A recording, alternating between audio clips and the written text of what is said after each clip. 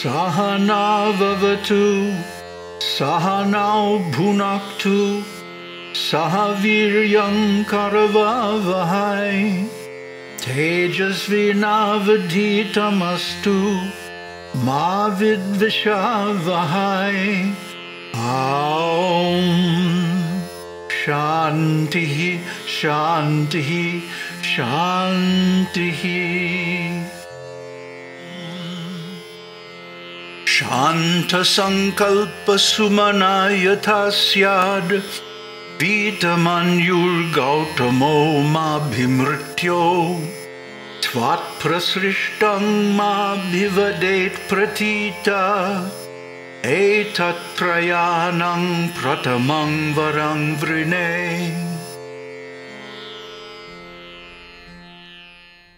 Namaste. So now, death has offered Nachiketa three boons. And so we see the nobility of these characters, Death and Nachiketa. That Nachiketa came voluntarily to the house of Death. And so Death is treating him as an honored guest. Because, as we'll see as the story unfolds, Nachiketa is also extremely noble and has a fine character. And this will become obvious from the nature of the boons. So let me read the translation and the tika, the explanation of the Sanskrit by Shankaracharya. O death, of the three boons, I ask this one as the first that my father Gotama may become freed from anxiety, calm of mind, freed from anger towards me, and he may recognize me and talk to me when freed by you. And here's Shankaracharya's Tika. If you want to grant boons, then Mrityo, O death, I pray so. Yata, as my father Gautama, Syat may become Shanta Sankalpaha, he whose mind is freed with regard to me from the anxiety, how may my son behave after reaching death? That man is Shanta Sankalpaha, Sumana, calm of mind, and also Vitamanyuhu, free from anger, Ma Abhi, towards me. Moreover, he abhivadet, may talk to, ma, me, tvat prasrishtam, freed by you, sent towards home, pratitaha, getting his memory revived, that is, recognizing me thus, that very son of mine is come. Trayanam, of the three boons, vrine, I ask for pratamam, as the first boon, eta, this one, that has this purpose, that is, the satisfaction of my Father. So we see here the very wonderful character of Nachiketa, that the first thing that comes to his mind when offered boons by death is the satisfaction and happiness of his father. I mean, if Nachiketa was a low minded person, an egotistical person, maybe he would be angry at his father for cursing him. But no, he restrains his anger and instead he has a mood of compassion. Because death can grant any boon. He is Shiva. he is all powerful. So anything that he offers is surely going to come true. Therefore, Nachiketa says, first, let me set right my relationship with my father. This is a wonderful, wonderful expression of a noble soul. And we should feel uh, admiration towards him. We should feel like this is something we want to emulate. that first of all, our parents should be satisfied with us. The parents, the mother and father, are the first gurus, the first teachers. After all, they're the ones who brought the body into the world and gave us the chance to experience life. So actually, the debt we owe them can never be repaid. But what we can do is that we can see to it as far as possible that they have a good spiritual existence, especially after death. That's why in Vedic culture there's the Shraddha ceremony, which offers water and eatables to the departed ancestors. And whether this is real or literal or symbolic, it doesn't really matter. Because what does matter is the mood, the intention behind it. That I want my parents to be happy, even after death, even in the spiritual form. I want them to be happy and happy with me, mainly, that I have fulfilled my duty towards my parents. So, this is the very first thing that springs to mind when death offers him three boons.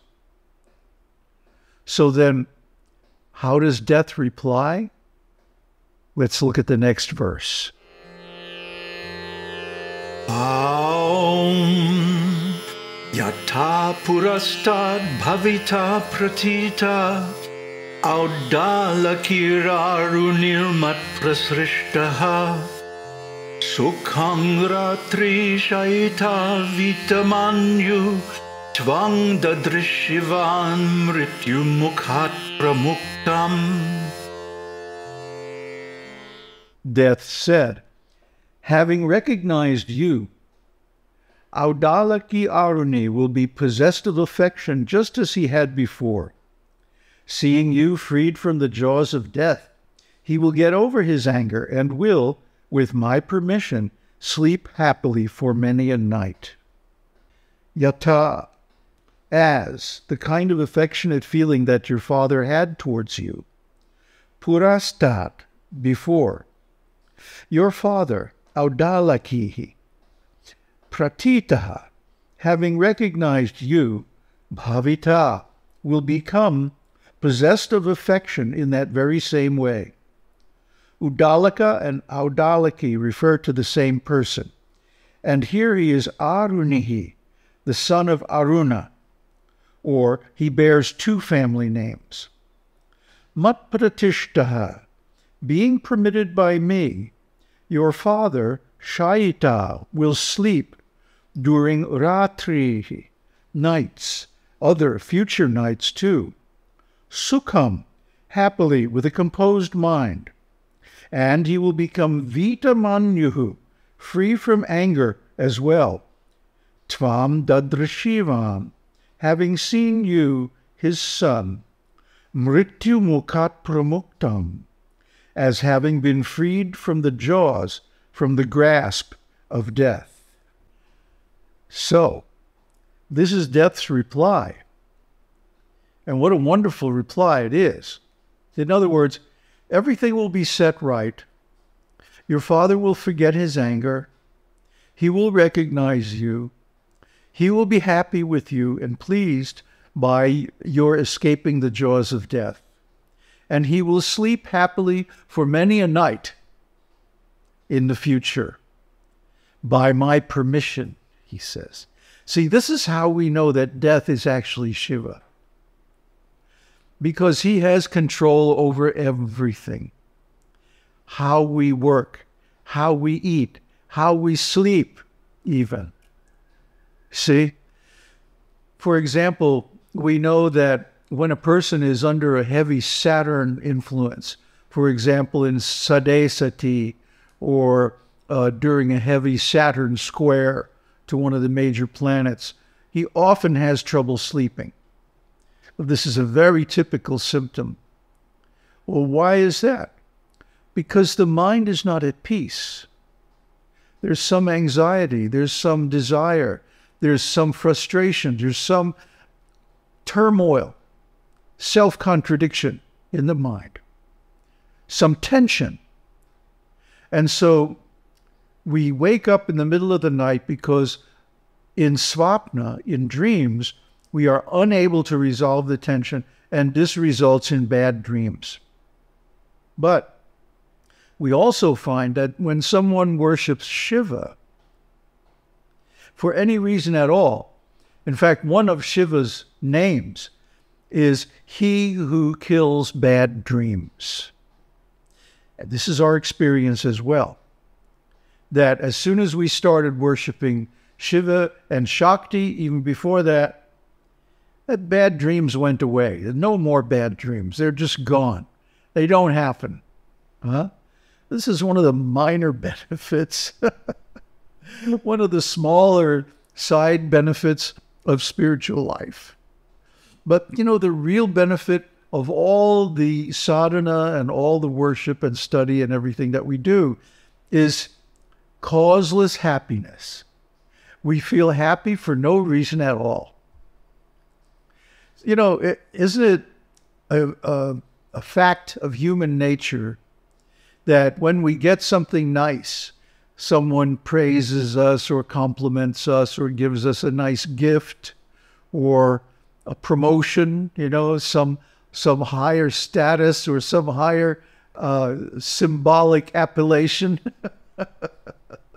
a label, huh? showing us to be greater or more important or whatever, we feel happiness. But that happiness has a cause. And because it's caused, it can also go away. If we lose the thing that made us happy, or if it's uh, simply a temporary feeling of enjoyment, it'll gradually wear off. Huh? Like when you get a new car or something like that. At first, it's, oh, wow, this is great. And you spend a lot of time just driving around, enjoying the car.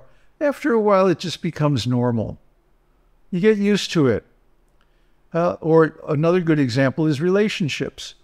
When we first get into a relationship, wow, it seems like the greatest thing ever. But then, after some time, it becomes a habit. We get used to it. It's no big deal anymore. It's just the way it is. We take it for granted.